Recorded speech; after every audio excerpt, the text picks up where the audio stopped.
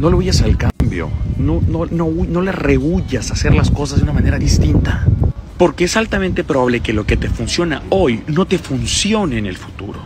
Y cuando eso pase vas a tener broncas, serias broncas. Hoy quiero hacerte tres preguntas. Número uno, ¿estás usando el 100% de tu potencial?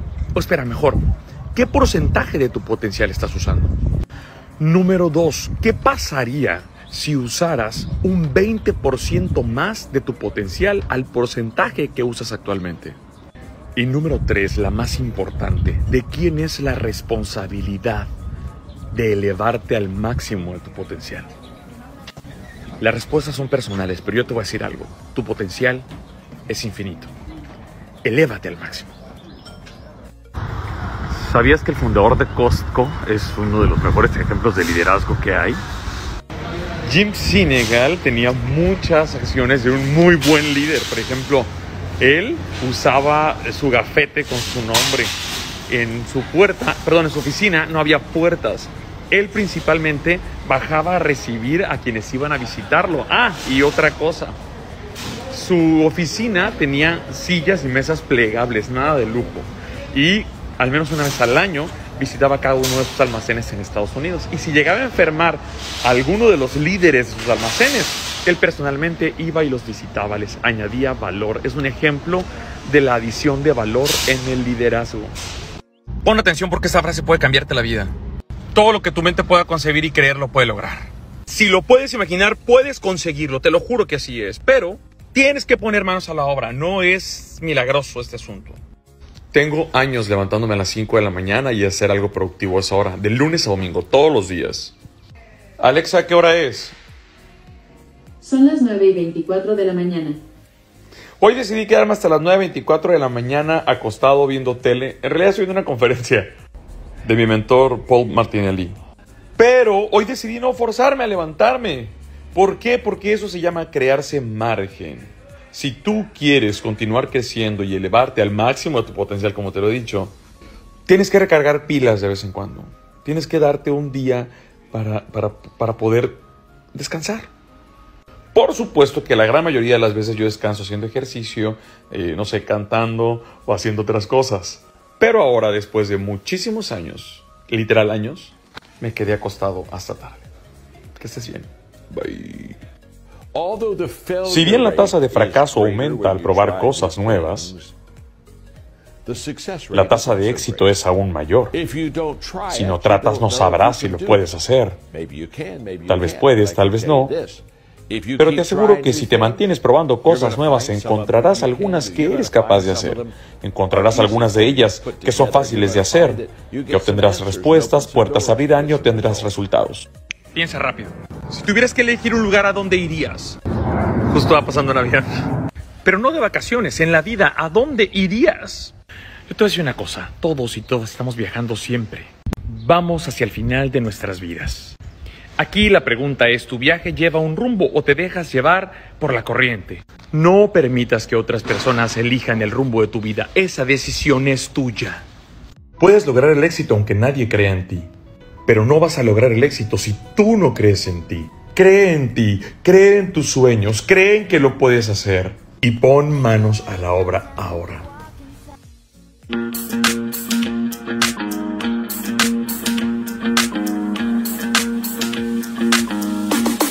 Jim Sinegal tenía muchas acciones de un muy buen líder, Hay veces que actuamos en un nivel animal de conciencia en la que nuestro cerebro puedes lograr el éxito aunque nadie crea Pero no vas a lograr el éxito si tú no crees.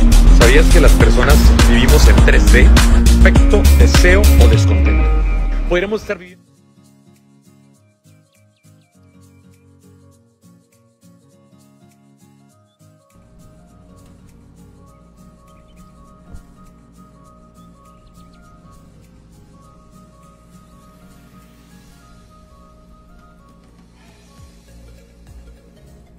Hola, ¿qué tal amigas y amigos? ¿Cómo están? Espero que se encuentren muy bien. Yo soy Luis Enrique López León. Y es para mí un enorme gusto darles la más cordial bienvenida a este encuentro especial, a esta enseñanza especial que apenas hoy les informé, a la que apenas hoy les invité, porque tengo algo muy importante que decirles.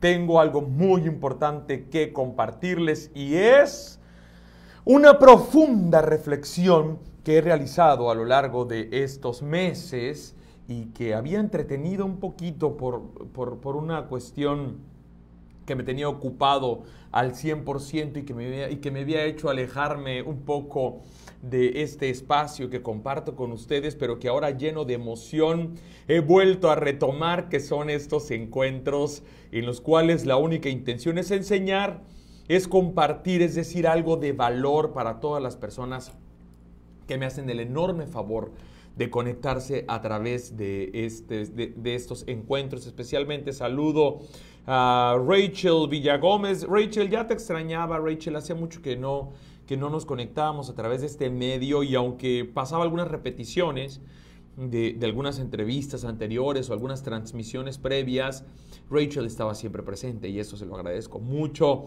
Rachel dice, Luis Enrique López León, saludos aquí presente contigo desde Chicago, Illinois, la ciudad de los vientos. 15 de junio, estamos 15 de junio, caray, del año 2021. Y Mayra de la Torre presente, dice mi amiga Mayra de la Torre. Gracias, Mayra, por estar aquí. Gracias a todas y todos ustedes por conectarse. Les pido que me hagan el favor, Rachel y Mayra, si no lo han hecho todavía. Les pido que me hagan el favor de compartir la transmisión en sus perfiles para que otras personas puedan llegar también a este encuentro que hemos previsto y que podamos platicar brevemente al respecto de las creencias limitantes. Por fin ya les dije el tema. Las creencias limitantes. Ah, caray, esas creencias limitantes. ¿Han visto los globos aerostáticos? ¿Cómo tienen unos lastres? que los mantienen en el suelo y que cuando sueltan esos lastres es cuando pueden elevarse y hacer ese, ese espectáculo majestuoso que representan, pues exactamente así, exactamente así nos ocurre a las personas con las creencias limitantes. Exactamente así nos pasa a muchas y a muchos de nosotros que, que, no, que no nos basta con tener pensamientos negativos, sino que los interiorizamos a tal grado que pasan a la mente subconsciente y se instalan ahí como creencias, como creencias que nos obstaculizan, como creencias que no nos permiten elevarnos al máximo de nuestro potencial, elevarnos al máximo de lo que podemos lograr. Entonces va a ser algo breve, no espero llevarme más de 20 minutos he aprendido, he aprendido a, resumir lo que quiero compartirles, aunque todavía a veces tengo la deficiencia de que se me pasa tantito y, y, hablo un poquito de más, pero ah, previo a iniciar, antes que se me olvide, recuerden ustedes que aquí están apareciendo los medios de contacto, seguramente me están viendo en Facebook o alguien me está viendo en YouTube, en fin, como sea, pero aquí están todos mis, datos de contacto, mi número telefónico, mi correo electrónico, también va a estar mi página de Facebook naturalmente, mi sitio web, va a estar mi perfil de Instagram donde me gustaría que pudiéramos eh, mantenernos conectados y poder compartir muchas más impresiones. Pero bueno, por ahora vamos de lleno al tema que hoy tengo para compartirles, que son las creencias limitantes quienes han estado conmigo en un entrenamiento, ni se diga presencial, pero también últimamente en los virtuales, siempre hago preguntas tipo como cuando estábamos en la escuela, ¿no? Que levante la mano quien quiera decirme que es una creencia limitante, pero voy a dar 20 segundos para que alguien me diga en el chat de Facebook en vivo, que me diga, ¿qué es, qué es para ti una creencia limitante? ¿Qué es para ti una creencia limitante? A la primera persona que me responda qué es una creencia limitante, le voy a regalar una sesión de mentoría de 30 minutos, mentoría privada uno a uno de 30 minutos con el tema que quiera. Ya sé que de repente les da pena y no lo comentan y no lo dicen y después me mandan un mensaje en privado. Yo sé que ahorita me va a llegar un, WhatsApp diciéndome, hey, yo quiero participar, pero me da pena y ya sé de quién va a ser ese mensaje, pero no se lo vamos a hacer válido. Entonces, vamos a hablar de las creencias limitantes. ¿Qué les dije? Miren, aquí llegó un WhatsApp. No, no, no. No, no sirve, ¿eh? No, no sirve. Dice, buenas tardes, amigo. Estoy en la transmisión en vivo. No sé qué responder a la pregunta. bueno, está bien, se vale. También se vale no tener la respuesta. Pues ahora les voy a platicar. Yo les voy a platicar qué es una creencia limitante. Y es importante que la tomen en cuenta. Y prepárense porque la enseñanza de hoy incluye algún par de, eh, de ejemplos que son bastante ilustrativos para poder interiorizarlo de una mejor manera. Vamos a empezar. Una creencia limitante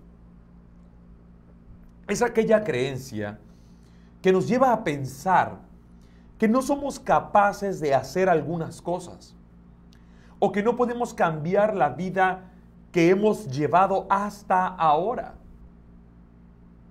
Creemos que podemos lograr únicamente lo que hasta hoy hemos logrado. Eso, eso hace la creencia limitante. Les repito, llega a través de nosotros, a través de, los, de los, sentidos o a través de, las antenas que hay en nuestra mente consciente. Ya les he explicado muchas veces el mono de palo. Si no, contáctenme, ahí les voy, a, les voy a dejar mis datos nuevamente. Contáctenme y con gusto en una sesión de mentoría podemos hablar a fondo sobre el, sobre el mono de palo, este creado por Thurman Fleet, el creador de la terapia de concepto, donde hablamos de cómo se divide la mente y hablamos de cómo para cambiar los resultados hay que cambiar los pensamientos. Es una clase de varias horas, pero podemos ajustarlo a una sesión de mentoría y contarles sobre eh, el, mono de palo y cómo es que se van formando los pensamientos en, en, creencias, en hábitos, cómo eso determina las acciones y cómo las acciones determinan los resultados. Pero partiendo de que quienes están aquí seguramente ya lo han visto antes, partiendo desde ese supuesto, es que hoy vamos a obviar esa parte. Pero llega ese pensamiento negativo, se filtra a través de, la, se filtra hasta la mente subconsciente, se convierte en un hábito, se convierte en una creencia, y esa creencia es como ese diablito que nos está diciendo no puedes hacerlo, no lo puedes lograr, no eres capaz de hacerlo. ¿Quién te crees tú? ¿De qué te crees capaz? Por supuesto que no, estás equivocado, estás equivocada.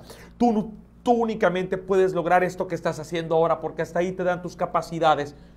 Estoy convencido que si ustedes comienzan a hacer un inventario de sus creencias, van a encontrar más de una creencia limitante instalada en su mente subconsciente que les dice que no pueden hacer tal o cual cosa, que les dice que no, que no son capaces de llegar a un nivel tan alto en lo que sea. Y siempre les digo, obsérvalo a través de cinco áreas fundamentales en tu vida. Tu crecimiento personal, tu crecimiento espiritual, tus relaciones de amor primarias, tu libertad de tiempo y libertad financiera y tu salud y tu cuerpo. Observa en cualquiera de esas cinco áreas si hay alguna creencia limitante que te está limitando. Una creencia limitante que te está frenando. Una creencia limitante que no te permite lograr lo que sí puedes lograr. Pero que tu mente te ha engañado a, al grado, tal que te dice que no. Pero aquí tengo una pregunta.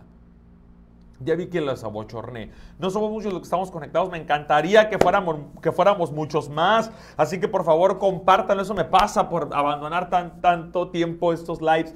Compártanlo, por favor mándenle un mensajito a alguien, sálganse 30 minutos, te 30 segundos de la transmisión y manden unos cuantos WhatsApps invitando a personas que crean que les, que les puede servir esto que les voy a compartir y tráiganlas para acá.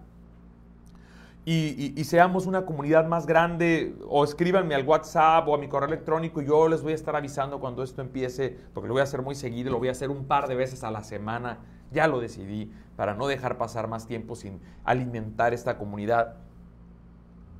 Les decía, ahora les pregunto a ustedes y entonces espero que esta sea una reflexión personal y que sí se la respondan eh, mentalmente y me digan ustedes, ¿dónde se originan esas creencias?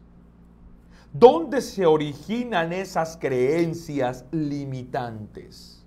Van a decir que en la mente subconsciente, sí, sí, sí, sí, pero ¿cuál es el origen? ¿De dónde provienen esas creencias limitantes? ¿De dónde proviene esa información que te hace, que te hace creer eso que te detiene? Te voy a dar una pista. Yo pudiera decirte que el origen de esas creencias limitantes pueden venir de la familia, pueden venir de tu círculo de amigos, pueden venir del entorno en el que te desenvuelves o simple y sencillamente esas creencias limitantes pueden venir de ti misma, pueden venir de ti mismo. Tiene mucho que ver la familia, tiene mucho que ver el entorno y si algún día estudiamos, uy, por aquí estaba, aquí está. Se va a perder porque hay una pantalla verde detrás y el libro es verde, se va a perder. A ver, no lo voy a mover mucho para que no se pierda. Si algún día estudiamos juntos las 15 leyes indispensables del crecimiento, que por cierto estoy, eh, estoy estudiando eh, este texto con dos alumnos en sesiones privadas de coaching, una de coaching y otra de mentoría. Estamos estudiando a profundidad este texto y créanme que es la décima vez que lo leo y que lo he estudiado a profundidad y lo estoy viendo desde una perspectiva distinta. Entonces, si quieres, voy a poner mis datos de contacto nuevamente, si quieres estudiar tú también eh, eh, las 15 leyes indispensables del crecimiento como, como un entrenamiento básico para comenzar tu empoderamiento, contáctame ahora y te, y te voy a dar la facilidad de que lo hagas, pero si un día lo estudiamos, y espero que así sea y que sea muy pronto, te vas a dar cuenta que una de las 15 leyes indispensables del crecimiento es la ley del entorno, que te dice que te conviertes en el promedio de las personas con las que más convives. Entonces, si tú convives con tu familia toda la primera parte de tu vida, bueno, dependiendo de la primera parte de tu vida, si tú convives con tu familia la primera parte de tu vida y eliges una familia que no elegiste, pero eliges un círculo de amigos que te limita el resto de tu vida, entonces ese entorno en el que te desenvuelvas puede ser la fuente, puede ser el origen de esas creencias limitantes. Seguramente, seguramente tú habrás escuchado alguna vez esto que, por supuesto que, que a mí también me, tocó escuchar un, dicho que dice que una mentira dicha mil veces se convierte en verdad. ¿Ok? Es, más, hasta ahí, ¿cómo le llaman? El efecto Mandela, ¿cómo le llaman a, ese fenómeno en el, que, en el que creemos realmente algo que nunca ocurrió, algo que nunca fue? Una mentira dicha mil veces se convierte en una verdad. Entonces, si tú constantemente estás repitiéndote a ti misma o repitiéndote a ti mismo, no puedo, es muy difícil, o escuchamos a alguien que nos lo dice, con el paso del tiempo vamos a creer que esa es nuestra verdad. Habremos sugestionado tanto nuestra mente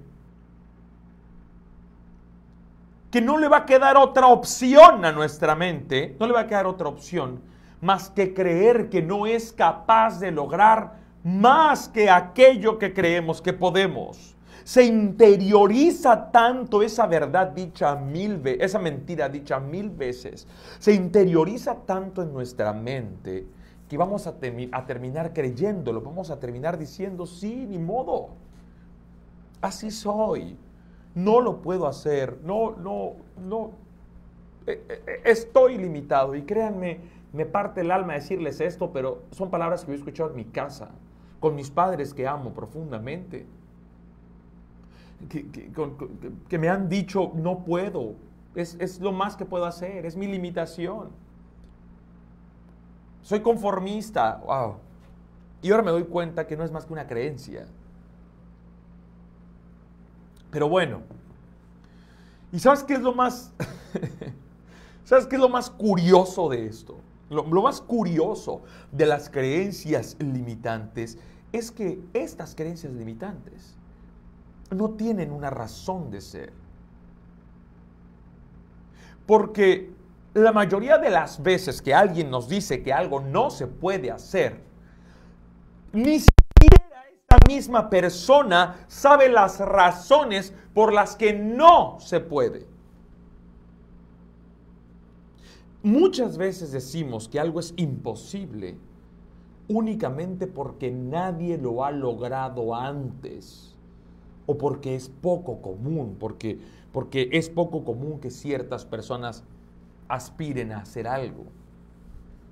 Y esta ha sido una constante en la vida de grandes genios como Einstein, como Marconi, como Edison, como Copérnico, que si ustedes, yo les menciono estos cuatro nombres ahorita, inmediatamente los relacionan con genios. Pero yo, a ellos les pasó esto. Estas cuatro personas que les acabo de mencionar fueron juzgadas por una sociedad que no comprendía lo elevado que estaba su nivel de conciencia. Ya habrán, ya habrán tomado conmigo la lección de los siete niveles de conciencia y si no han tomado la lección de los siete niveles de conciencia, contáctenme, les voy a dar un link privado para un video eh, donde pueden ver una sesión de dos maravillosas horas hablando de los siete niveles de conciencia, que sé que les va a encantar. Se llama la escalera de la conciencia esta, esta masterclass, se las voy a compartir gratuitamente. Cobré cover para quien, para quien la viera eh, en su estreno y ahora te la voy a regalar eh, a, ti si me mandas, no sé, cualquiera de esas vías de contacto para, eh, para darte acceso a los siete niveles de conciencia, a la escalera de la conciencia. Les decía, Einstein, Copérnico, Marconi, Edison, ¿quién más les dije? A estas cuatro personas fueron juzgadas por una sociedad que no comprendía su elevado nivel de conciencia. Porque fíjense, fíjense qué curioso, cada vez que intentemos ir en contra de la mayoría de las personas, nos van a ver como locos, nos van a ver como ilusos, nos van a ver como tontos y no digo más palabras porque cada palabra va a sonar más feo que la anterior. Mil cosas más. Y esa es la razón por la que muchas veces nos cohibimos de soñar. Esta es la razón por, las, por la que muchas veces limitamos nuestro potencial y por lo tanto nuestras creencias. No permitas que nada limite tu potencial. Por favor, muy pronto, muy pronto les prometo que voy a organizar una conferencia y ahí sí les voy a pedir que paguen una, inscripción porque es, es, es brutalmente buena esa conferencia. No es idea mía, es una de las lecciones que he aprendido de Paul Martinelli, de Roddy Galbraith y de Gerson Calderón. Muy pronto les voy a organizar una conferencia de tu potencial infinito o tú tienes un infinito potencial, como la he denominado. Donde les voy a decir por qué no deben limitar su potencial. Estén atentas, estén atentos, porque me, encantará que estén ahí. Voy a, voy a, hacer todo lo posible porque la mayoría de ustedes se inscriban. Por ejemplo, Rachel ha querido inscribirse a muchos sistemas y no ha podido por la limitante que ella está en Estados Unidos. Voy a buscar una plataforma amigable para que sea más fácil para ti, Rachel, inscribirte a, estas actividades. Si supieras, Rachel, que esto es la punta del iceberg de tanto que hay al fondo. Las personas que forman parte de esta comunidad y que se inscriben a mis mentes maestras, que se inscriben a mis cursos, que toman sesiones de mentoría privada conmigo, pueden decirte lo mucho que han crecido, lo lejos que están de su anterior versión cuando han decidido profundizar en este trabajo. Entonces, pues te voy a invitar, Rachel, para que, para que puedas y a todas las personas que estén viendo esto, tanto en vivo como en la grabación, para que realmente eh, comprendan la importancia de vivir intencionalmente, de elegir vivir una vida por diseño y no una vida por defecto. Pero bueno, continuamos. Les decía que cuando pasamos, que cuando, pasa, que cuando vamos en contra de la mayoría, nos pasan a ver como locos. Y que esa es la razón por la cual dejamos de soñar, por la cual limitamos nuestro potencial que no debe ser limitado. Nuestro potencial es infinito. Lo limitamos. Pasamos de creer en nosotros mismos a creer en la mayoría. Dejamos de creer en nuestro potencial y en nuestro ideal porque creemos en el de los demás. Yo te voy a hacer una pregunta que espero realmente, espero realmente puedas reflexionar en ella. Si estás en tu casa, si estás relajándote, cierra tantito los ojos. y reflexiona al respecto de esta pregunta. Yo te pregunto a ti, yo te pregunto a ti, ¿qué es lo que te hace autolimitarte? ¿Qué es lo que te hace autolimitarte? Una vez más, había prometido ya no hacerlo, había prometido ya no hacerlo y ahí voy de nuevo a hacerlo. A ver, lo voy a hacer de nuevo. Voy a, voy a, voy a hacer, voy a poner mi texto aquí. ¿Qué es lo que te hace autolimitarte? ¿Se acuerdan que les había prometido que no iba, que no iba ya a poner nada, pues ahí voy de nuevo, ¿no? Pero a ver, lo voy a poner de un color amarillo, a ver. Aunque miren, dicen que aquí aparece sombreado. Siempre quienes están conmigo en el proyecto me dicen no uses, no uses esas letras porque no se entiende nada. No, y no se ve. A ver, ya, perdónenme, no ahora sí ya no lo vuelvo a hacer, pero ya arranqué y ya lo hice y, ya. Y, ya me tengo que aguantar. A ver, lo voy a poner amarillo entonces. Ese amarillo no me va a fallar, estoy seguro. A ver. Ahí va la pregunta que quiero hacerte ahora. ¿Qué te hace autolimitarte? ¿Qué es lo que te hace autolimitarte? Y te lo pongo ahí en la pantalla. Batallé todo esto para ponértelo en la pantalla porque hay personas que aprenden leyendo. Yo soy una persona que aprende leyendo, por eso es que siempre me vas a ver así. Siempre vas a ver mi escritorio así. Me acabo de traer de la casa de mis papás todos mis libros de liderazgo porque hay veces que quiero recurrir a ellos y no los tengo. Pero ahí está. Es, ahí está la pregunta que te hago. ¿Qué es lo que te hace autolimitarte? Piensa, y ahora te invito que pienses en esa autolimitación como una cuerda invisible que te tiene atado o que te tiene atada. O como una estaca imaginaria Con esa imagen en la mente, con esa imagen en la mente de la cuerda que te tiene atado o que te tiene atada, o esa estaca imaginaria que te tiene, que te tiene pegado o pegada al suelo, con esa imagen quiero contarte la siguiente historia, que espero que, pueda ilustrarte algo. Y no voy a quitar el texto. Quiero que veas ahí esta pregunta permanente. ¿Qué es lo que te hace autolimitarte? Dice Rachel que la gente te lo diga, que la gente te diga que no puedes y que para qué quieres hacerlo. Definitivamente. Es como cuando te comento, Rachel, que comenzamos a, dejar de creer en nuestro potencial y en nuestro ideal por creer en el de otros. Y, y aquí te va la solución. Aquí te va la respuesta, Rachel. No te vayas, no te despegues, porque aquí te va la solución. Pero primero quiero, primero quiero que me hagas el favor de meditar en esta historia que te voy a platicar ahora. Un día, soy malo para contar cuentos, pero espero que, pueda servirte de algo. Un día andaban por el desierto cinco hombres y cada uno de estos hombres iba montado en su camello intentando atravesar un, tramo muy largo entre dos localidades. Y luego de ir bastantes horas por aquel desierto, comenzó a oscurecer. Y por lo tanto los hombres tuvieron que eh, pasar la noche en un oasis que se habían encontrado eh, en el camino. Ya estando ahí en el oasis, cayendo la noche, comieron, alimentaron y le dieron de beber a sus animales y cuando se iban a acostar ya para dormirse, se dieron cuenta que solo había cuatro postes para atar a los camellos. Entonces, eh, acuérdense que eran cinco. Y cada quien tenía su camello. Y había cuatro postes nomás para atar a los camellos. Y empezaron a verse las caras los unos a los otros porque ninguno de ellos quería pasar la noche en vela vigilando a su camello, pero tampoco querían que el camello se quedara suelto y que se fuese del lugar mientras dormían.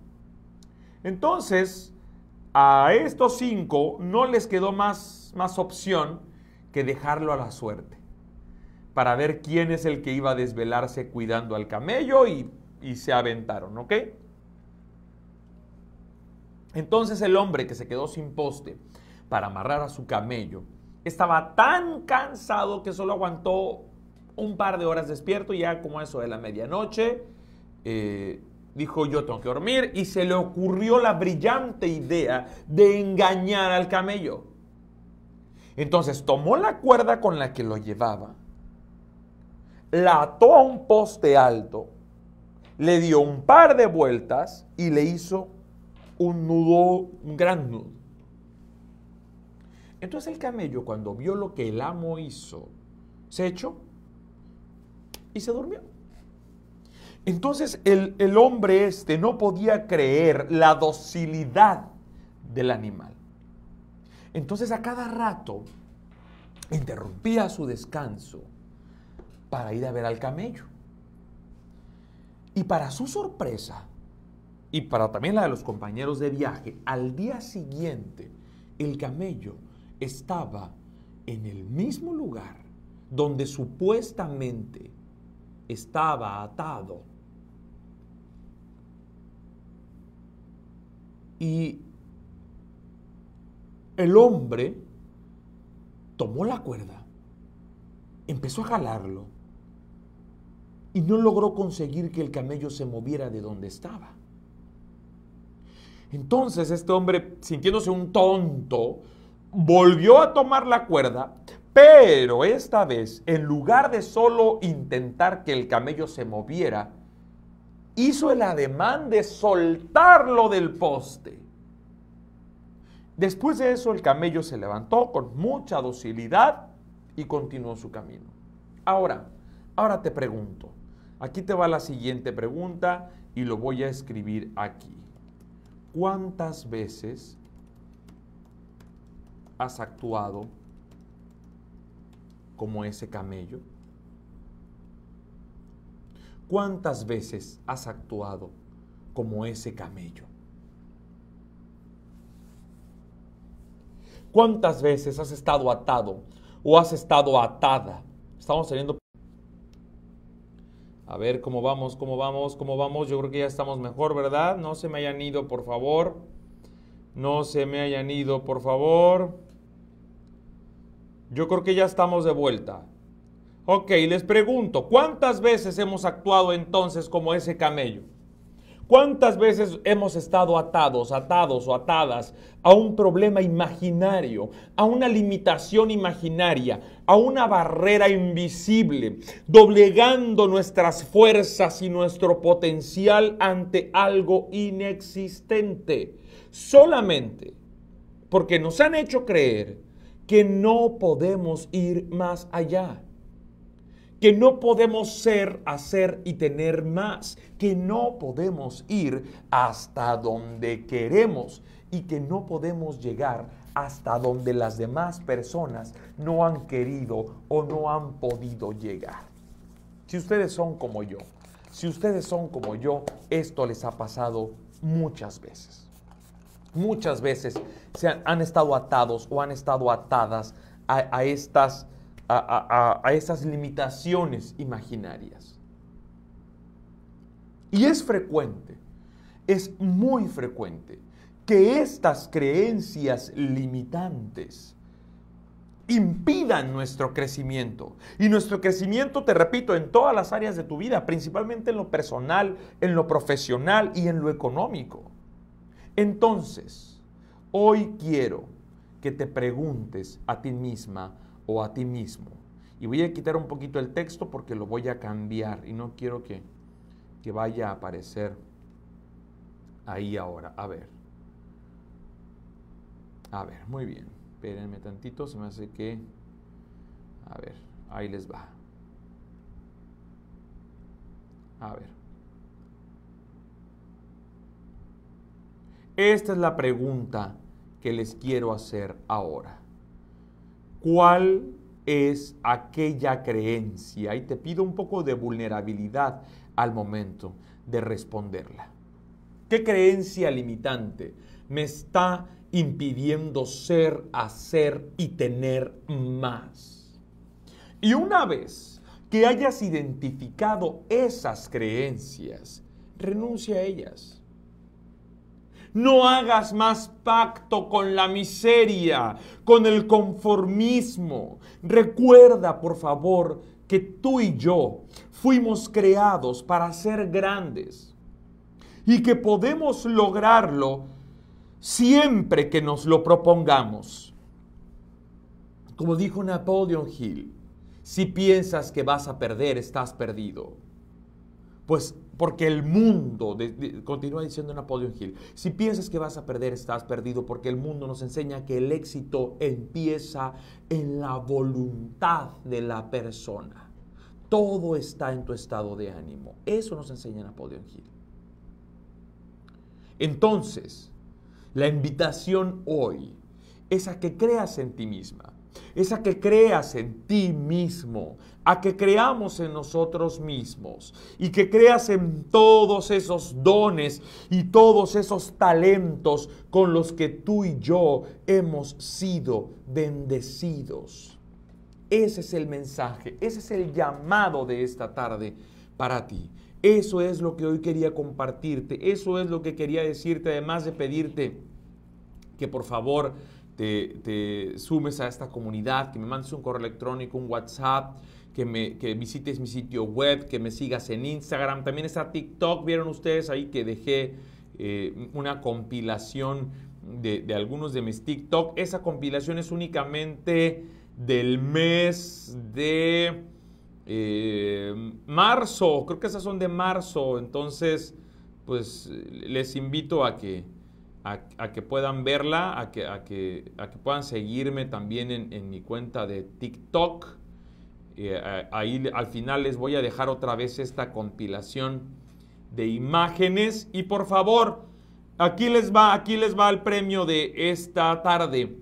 A las primeras personas, a las primeras cinco personas que me contacten a través de cualquiera de los medios que están transmitiéndose en este momento, a las primeras personas que me contacten, les voy a regalar el acceso, a las primeras cinco personas voy a regalar el acceso a mi masterclass, La escalera de la conciencia.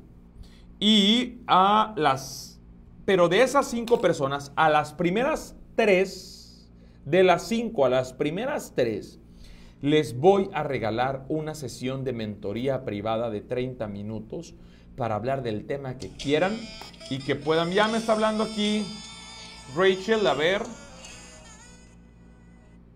A ver. Y le colgué, Rachel, te colgué, mira, perdóname, te colgué sin querer.